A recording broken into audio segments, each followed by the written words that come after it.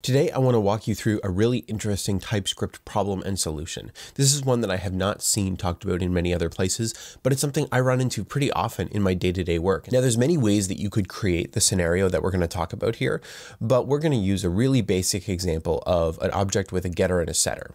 So we've got this prop type here, and as you can see, it's just an object with a get function and a set function. We take some generic t, the get should return that t, and the set should take that t. So if you have an object that matches this prop shape, then the value that you get from our get function, you should be able to pass to our set function because they both have the type t. So now we have a helper function here that just creates these properties. We take some value t, and we return the getter and setter using that value as our initial value. And then we create an object object with multiple properties in it. Now this is the key part, right? So we've got this object and you can see exactly what the shape of this object is. It's got a name with a prop of string and an age with a prop of number. And then just to be complete, we're going to pull some types out of this. So we've got type of props and then key of props as well. So what is the problem that we're going to have here? Well, as you can see on lines 21 to 23, we don't have a problem at all when we know the key that we're indexing into.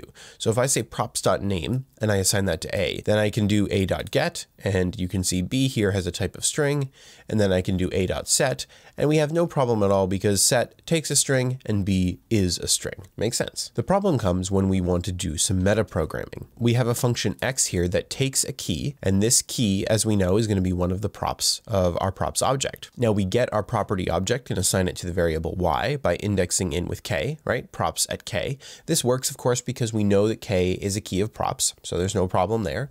And then we get our value value, and we assign that to z here, or z. And you can see we do y.get, no problem. But then when we do y.set, passing it z, we have an error. Argument of type string or number is not assignable to parameter of type never. String is not assignable to never. So what is the problem here? The problem is the type of y. If we hover over y here, we can see that y is a union of prop of string or prop of number. Because k is some key of props, either name or age, y could be either a prop of string or a prop of number. And then because of that, z, the get value, could be either a string or a number. And so the type of y.set has now collapsed into a function that expects a never value.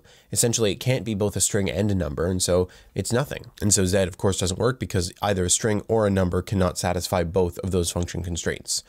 So how can we solve this problem? Because we know this works as JavaScript, right? We know that if we get some prop using its index k, so y is some prop, that if we call y.get, the value has to be able to be passed to y.set. And it feels like we've described that pretty accurately in our types. So how do we solve this? The solution here is a little bit convoluted, but essentially we use something called a distributive object type. The idea is that we create a type map from the particular keys of our props object here to the exact values that they should be. So let's do something like this. Let's create a prop map and this is going to be pretty straightforward.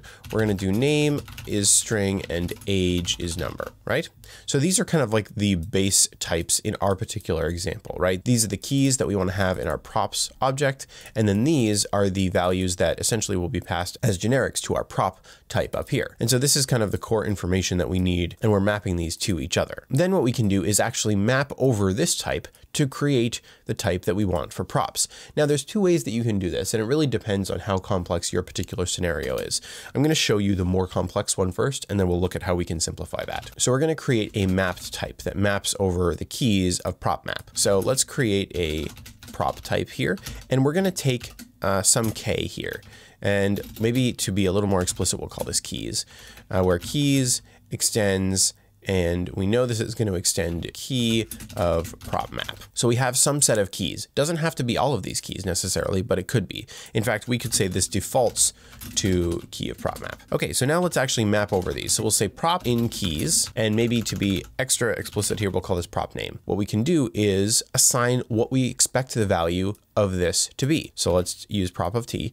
Now, what is t in this case? t is going to be the value of whatever the current prop name is in the prop map.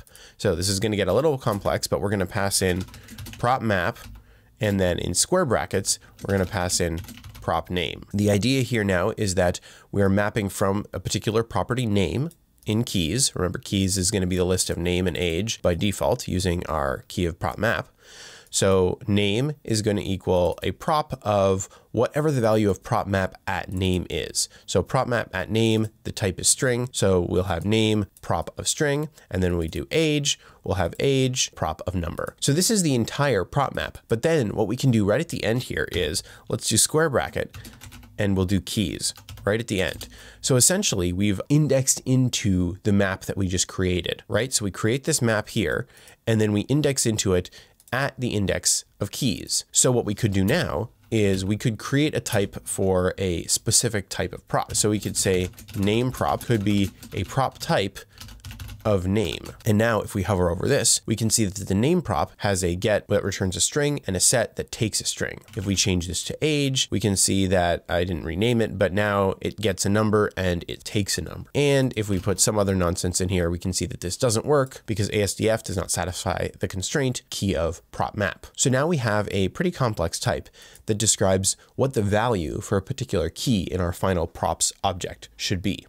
So what can we do with this? Well, now we can actually create a type for our props. So I'm going to remove this props type down here. Let's move it up here temporarily, and then I'm going to use this to create another map. So we're going to do pretty much the same map that we did before. So we can say prop uh, in key of prop map, right? So our final object should expect to have one property for every key in the prop map object. And the value of this is of course just going to be prop type of that particular property. So now if we hover over this, you can see that the name has the type prop of string and age has the type prop of number. Amazing. So this feels pretty complex, but play around with this for a little bit and I think you'll understand what's going on here. Essentially, we're mapping the particular keys of the final object that we want to create to the types that we want them to be explicitly. And this is just the first part of the solution. The second part, much simpler, but both are equally important here. Now, before we move on to that second part, one thing I want to point out is that this is the pattern that you'll see a lot in the GitHub issues that describe this problem. But these are often for situations where the inner type that you want to work with is a little more complex